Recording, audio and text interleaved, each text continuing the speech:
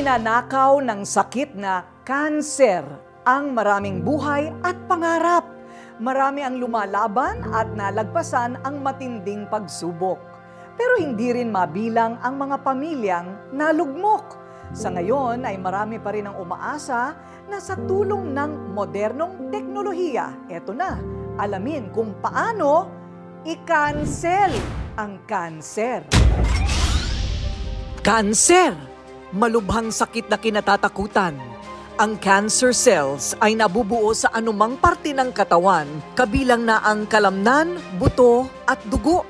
Kumakalat ang cancer sa ibang bahagi ng katawan at ang ilang uri ng cancer ay lumalaki pa, nagagamot kapag naagapan ng maaga. Pero kapag napabayaan, ay madalas itong ikamatay. Ang cancer po, uh, isa siya sa mga nangungunang uh, sanhi ng pagkakasakit ng bawat Pilipino, pati sa pagkakaroon ng kamatayan o yung dahilan ng pagkakamatay ng mga Pilipino. Lagi siyang nasa top 5. Ayon sa datos ng World Health Organization, sa mahigit 108 milyong populasyon sa Pilipinas, may kabuang 104,021 ang may cancer noong 2018. At mahigit 86,000 na kabuang bilang ng namatay sa cancer. Kung ang kanser ay karaniwan sa iyong pamilya o lahi, nasa panganib ka na magkaroon din. Nagagamot ang cancer sa pamamagitan ng operasyon at may mga sumasailalim naman sa radiation therapy. Sa pamamagitan naman ng chemotherapy, pinapatay ang mga cancer cells na mabilis dumami gamit ang malakas na uri ng kemikal. Lahat ng mabilis na dividing cells sa katawan tinatarget ng chemotherapy at napipigilan ang paglaki ng tumor. Pero pinapatay din ng chemo ang good cells sa katawan sa ganitong punto. Anong epekto nito sa pasyente? Isipin mo na ang paggagamot sa cancer ay parang digmaan. Pag may gera ka, lagi tayo may tinatawag na collateral damage. Ito yung mga dapat na hindi madamay, pero dahil may gera o meron tayong war, naaapektuhan sila. Okay. Now, ano ang pinagkaiba ng good cell naman sa bad cell? Hindi naman sabi nating good cell. Ito yung normal na cell ng katawan. Ang normal na cell ng katawan ay may kakayahang mag-recover o bumalik sa dati. Okay. Sa pamamagitan ng tamang nutrisyon na suporta sa mga taong nagki-chemotherapy, ito ay bumabalik. Now, syempre, yung cancer cell, pag namatay, nababawasan na sila. Ngayon, pag tayo ay uh, nagre-recover na, yung good cell naman natin, sumusunod din doon. Payo ng mga eksperto, napaka-importante na malaman agad ang sakit na cancer bago pa maging malubha. Kailangan magpa-check up ng regular. Sa modernong panahon ng siyensya at medisina, may mga proseso na para sa early detection at screening sa cancer. Ginagamit ang positron emission tomography para ma-detect kung anong stage na ang cancer at kung saang bahagi ng katawan yun ho yung paggamit ng mga tinatawag nating radioactive tracers na kung saan itong mga tracer na ito, pag ito ay ininject po sa dugo, pumupunta siya dun sa mga lugar na sinasabi ko sa pasyente ko, mga matatakaw, yung malakas kumain ng mga tracer. Kadalasan ho, yun yung mga cancer cells. Kadalasan na, pero hindi ibig sabihin 100% cancer agad yun. Pwede kasing infection. Sa sobrang stress, maaaring maging aktibo ang cancer cell sa katawan si Sheila Romero, career woman at isang cancer survivor. Mas lalo niya daw pinapahalagahan ang kanyang kalusugan at wellness ngayon mula sa dieta at kung paano i-manage ang stress sa buhay niya.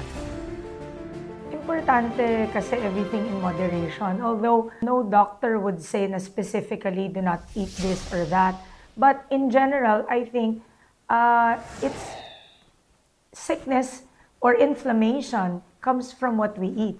So, importante that we don't or we try to avoid uh, processed food. Um, ako hindi na ngayon din ako nagra-rice because there's sugar. So, I try to eat uh, cauliflower rice. Of course, more um, vegetables like ito, green juice. There's like apat na klaseng vegetables. Merong tatlong klaseng fruits like apples, um, pineapple, Meron din siyang cucumber. We add this superfood powder. Of course, we have uh, fruits, fights cancer. I'm Sheila Romero. I am the founder and president of I Want to Share Foundation. Binalikan ni Sheila ang kanyang mga alaala noong 2020. Kasagsagan ng pandemya nang magkaroon siya ng breast cancer. tao lang naman tayo. Siyempre, nandun yung lungkot, nandun yung anxiety, nandun yung fear. But uh, malaking bagay yung positibong um, suporta na nakuha ko from my family, lalong-lalo na sa asawa ko at sa aking mga anak, na talagang gagawin natin ang lahat para gumaling. Sa mga kababaihan ayon sa World Health Organization, base sa estadistika, 16% na porsyento ng mga babae ang nadadiagnose ng cancer at tatlo sa isang daang Pinay ang nagkakaroon ng sakit na ito. Karaniwang nagsisimula ang breast cancer sa mga selula na matatagpuan sa mga duct na gumagawa ng gatas, lobule o iba pang mga tissue sa suso. Kaya hindi lubos maisip ni Sheila na matatanong niya sa Diyos kung bakit siya tinamaan ng ganitong uri ng sakit. Gayong tumutulong naman siya sa pamamagitan ng I Want to Share Foundation sa mga batang may cancer. Nag-umpisa kaming tumulong sa mga bata sa PGH in 2015. Tumutulong na kami sa mga bata, taon-taon yan. And yet, He gave me that. But you know, I believe that dinala niya ako doon, pero nakita naman niya na lalo pang tumibay ang aking pananampalataya na hindi na ako pababayaan.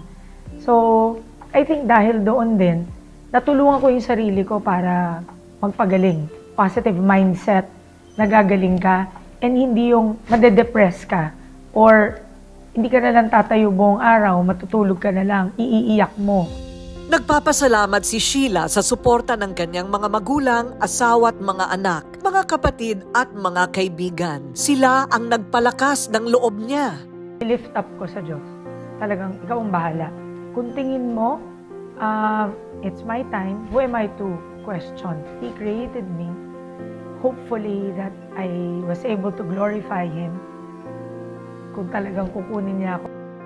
Sa loob ng mahigit na isang taong pagpapagamot at dasal, na ipanalo ni Sheila ang laban niya sa cancer. Sa kasalukuyan, aktibo sa pagtulong ang I Want to Share Foundation sa mga batang may cancer sa Philippine General Hospital. Mahigit na limang libong bata ang apektado ng cancer taon-taon sa ating bansa. Tinatayang anim na daang mga batang may cancer ang nagpapagamot sa PGH.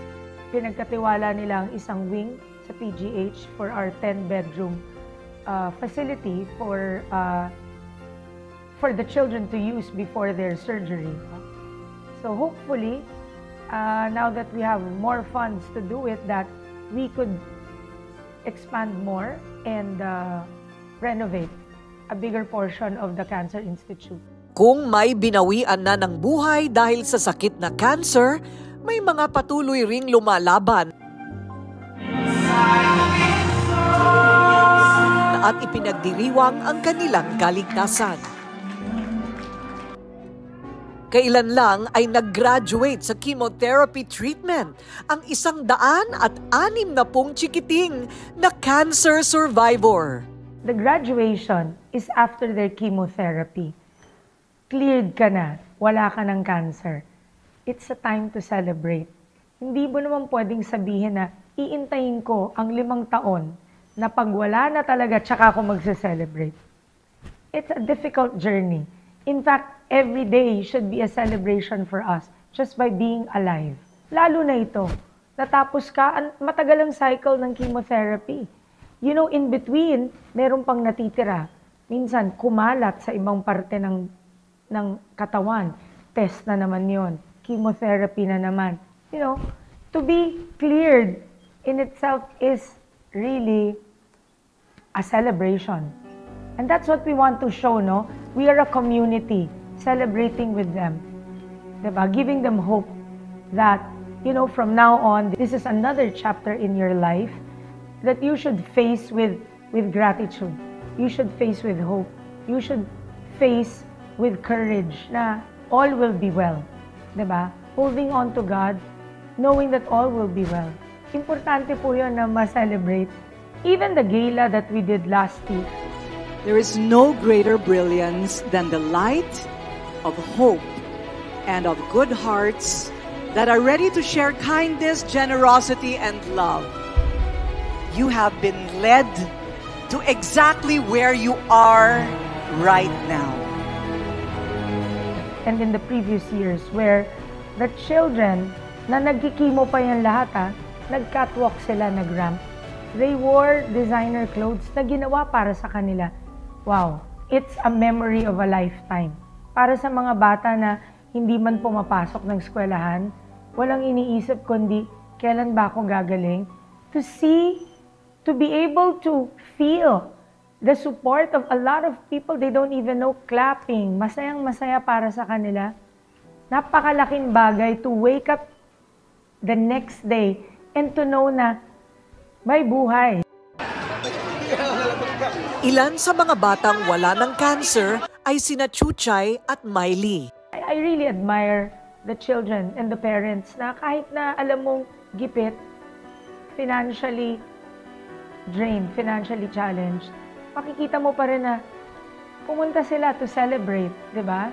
At makikita mo na religiously pumupunta sila ng PGH for their chemotherapy treatment. So, saludo talaga ako sa kanila. Kahit na libre po ang gamutan sa PGH, marami pa hong kailangan po ang mga pasyente. So, nabibigay po ng I Want to Share Foundation ay unang-una po itong mga child life activities na importante po sa mga bata. Kasi ito po nakakabigay po ng pag-asa tulad po nitong graduation, Three years old pa lang si Chuchay nang magkaroon ng slow-growing brain tumor na tumubo sa optic nerve o ugat na nagkokonekta sa mata papunta sa utak. Ang kanyang sakit, optic pathway glioma. Lumabo ang kanyang paningin hanggang sa nabulag na. Akala lang namin simpleng malabo lang yung mata. Tapos simpleng lagnat lang po. Yung pala, mayroon po pala siyang cancer. Siyempre po, bilang magulang, napakasakit po sa akin na malaman na may sakit po ang anak ko. Na-experience ko na po kasi mawala ng anak eh. Lahat po ng makakaya gagawin ko po para po gumaling po ang anak ko. Naitanong ni Nanay Christina sa Diyos, bakit ang anak niya pa ang nagka-cancer? Nagkaroon po siya ng bukol sa loob po mismo, sa gitnang, sa gitna po ng utak po. Ito po, nakadalawang bukas na po to. Biopsy po tapos nasira po yung shunt niya dito sa isa. Kasi po nagkaroon po siya ng hydrocephalus, gawa po ng bukol niya. Pinalitan po, nilagyan po ulit ng bago. Tapos po dito sa kabila, shunt din po. Sa MRI po, ganitong kalaking bukol po yung nakita niya. Una pong ginawa nila, nilagyan po muna ng shunt para po yung tubig niya sa utak madrain. Kasi po, naiipit eh. Kaya po siya nagkaroon ng epilepsy. Surgery niya, naging okay naman po siya. Yung first surgery niya po sa Batangas Regional. Pagtapos po naging okay siya, one year. Nirefer na po kami sa PGH. Inoperahan na naman po siya, dalawang magkasunod, di pangatlo na po. Inoperahan po siya ng shunt ulit, tapos po biopsy. Dalawang magkasunod po yung isang araw lang. Di yun, hindi na po siya nakakita, hindi siya nakakalakad. Tapos nung pang, eto po, surgery niya ngayon, nasira po yung shunt niya. Nag-malfunction po. Nag-tumor bleed din po siya. Nagdugo yung bukol niya. Kumatos nga po. eh. Akala ko hindi na magigising yung anak ko eh.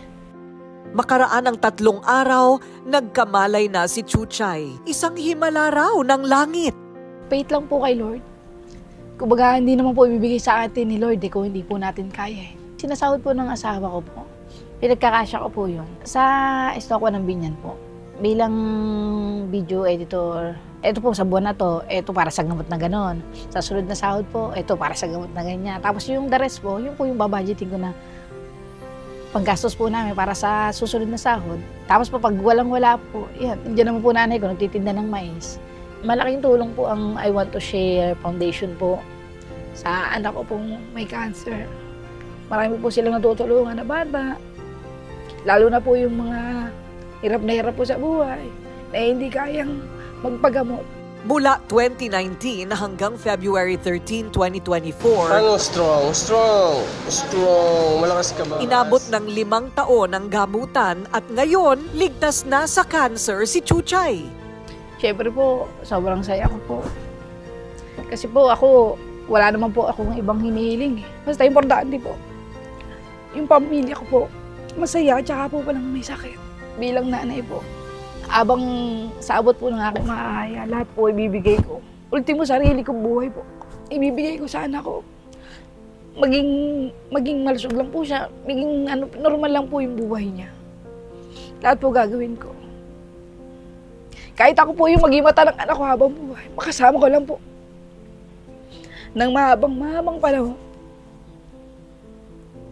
Kapag sinabi ko, kailangan, totoo. Walang dagdag, walang bawas, walang kasinungalingan. Galit kasi ako sa manloloko, sa sinungaling at sira sa salita. Ang lakas maka-unprofessional ng walang integridad. Ganon din dapat sa pagpili ng sabon para sa mukha at balat ng sarili nating katawan. Dapat sigurado, dapat kumpleto, dapat epektibo. Kaya ang payo ko sa inyo, huwag iasa sa mga bulero ang kutis na pinapangarap ninyo. Dito kayo sa may kredibilidad, integridad, proven and tested. Skin Pro.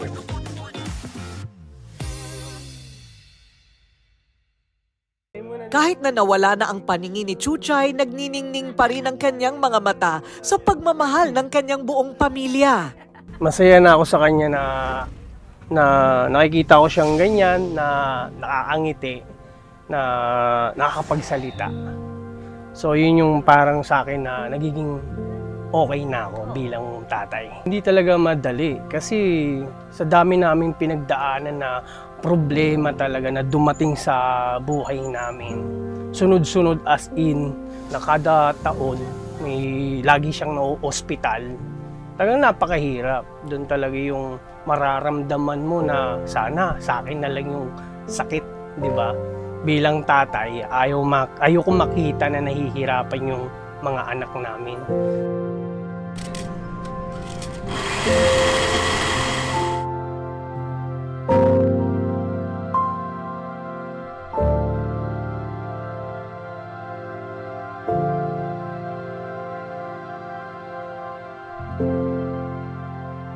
Mahirap talagang magkasakit lalo na kapos sa buhay gaya ng batang si Miley. Kargador ng mga bagahe sa eroplano ang kanyang tatay.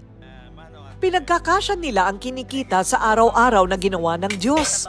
Malaking sakripisyo sa mga magulang ni Miley ang kanyang pagkakasakit noong 2022. Hindi ko naman po in-expect na ganun po yung mangyayari sa kanya. Kaya parang nabagsakan po ako ng ano kasi masakit po sa dibdib na makita po yung anak ko na nahihirapan po siya. Hirap na po siyang huminga. Hindi pa po siya nasalinan agad ng dugo po kasi naghahanap pa po kami ng donor. Wala po kaming ano, pambili po kasi hindi naman po sapat yung sinasahod ng asawa ko. Una pong nagbe-bleeding po yung ano ko po, yung ma, yung gums ko po. Ano, sinasabi ko po kay mama, mapingi po ko ng tissue kasi po tumutulo po talaga yung Sige, medyo. First time niya rin po niyang ano, ma-ospital na ganun pa po yung nangyari sa kanya. Tapos kada po salin sa kanya ng platelet, mamaya-maya po, kukuhanan po siya ng dugo para i-monitor po. Sobrang hirap po kasi wala po talaga kaming mapagkuhanan ng mang financial po. Mabuti na lang po. Meron din pong mga kakilala, katrabaho po ng asawa ko na nagbibigay din po ng mga financial kaibigan. Tapos yung mga donor po, mga katrabaho din po ng asawa ko. Kaya malaking pasalamat ko rin po sa kanila. Kasi po, kung hindi rin po dahil sa kanila, hindi po madudugtungan yung buhay ng anak ko. Dahil po sa wala po kami talagang mahanap na ano. Ng mga kapitbahay din po, nagsi, nag, ano rin po sila ng mag-donor po ng dugo. Kasi kailangan din po talaga kasi siyang masalinan na kasi mababa na po talaga yung platelet niya. Sa matinding sakit na cancer, gusto nang sumuko noon ng kanyang anak. May time po na ano, kuminsan parang napanghihinaan po siya ng loob. Sumisigaw po siya na, Mama, ayoko na po ng ganitong buhay. Gusto ko na pong mamatay. Yun po yung sinisigaw niya. Pag kinukuhanan po siya ng dugo. Kaya po, para sa akin po na isang magulang, pag nakikita, naririnig ko po yung ganun sinasabi niya, parang ayaw na po niyang lumaban. Pero, papasalamat pa rin po ako kay Lord kasi po kahit na ganun po yung hirap na pinagdaanan niya po, malakas pa rin po yung loob niya na talagang lumaban po. At hindi naman po namin siya sinukuan. Mahip, may pahiwatig po si Lord kung bakit po nangyari sa anak ko po yun. Kasi minsan po siguro nakakalimot po kami kay Lord. Kaya po siguro gusto niya po kaming baguhin. Ngayon po, nare-realize ko po na kailangan po talaga magtiwala po sa Kanya. Kung ano man po yung mga pagsubok po na binigay niya, kailangan po dapat kayanin. Nine years old si Miley nang ma-diagnose na may leukemia. Ngayon, 11 years old na siya at wala nang nakikitang cancer cell sa kanyang dugo. Abot langit ang kanilang pasasalamat. Nagpapasalamat po ako sa Panginoon kasi po hindi niya po ako pinabayaan sa ospital. Hindi niya rin po kami pinabayaan sa araw-araw. Tapos hindi niya rin po pinabayaan si Papa sa pagtatrabaho niya po. I want to share foundation po. Doon po na ano, sila po yung tumutulong po. Ina-exam po nila yung dugo nila, yung dugo niya po sa bone marrow para po malaman kung ta, kung talaga pong ano po yung dugo niya sa cancer niya po. Ngayon po, nag-aaral na po ako. Sa ngayon po, nakakapag-aral na po siya. Masaya po kasi po yung mga hirap po na pinagdaanan po namin noon, eh napalitan na po ngayon ng saya.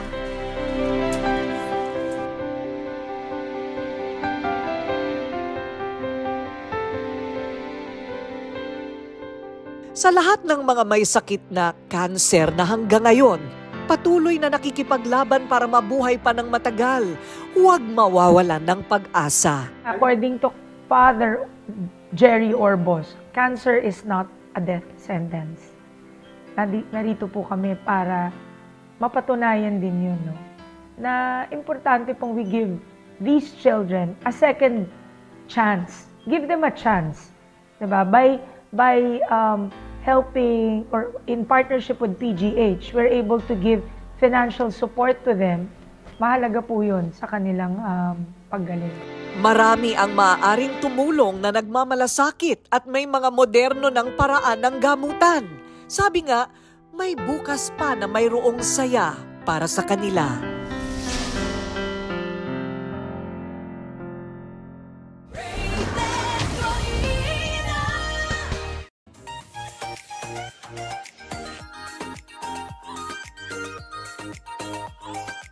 I don't use any other shampoo and conditioner except Happy Hair shampoo and conditioner. Ayan.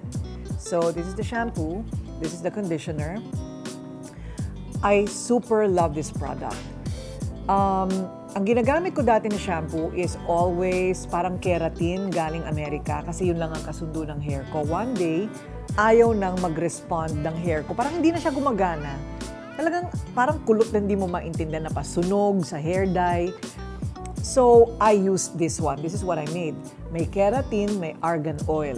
All the best ingredients. Kaya medyo mas mahal siya kaysa sa ibang shampoo. But you get quality. And guess what? Nung ginamit ko yung shampoo and conditioner ng Happy Hair, dapa ulit ang buhok ko. Super straight na yung hair mo, super kintab, and tumigil ang falling hair ko. That's Happy Hair shampoo and conditioner. I love and I am so proud of these products.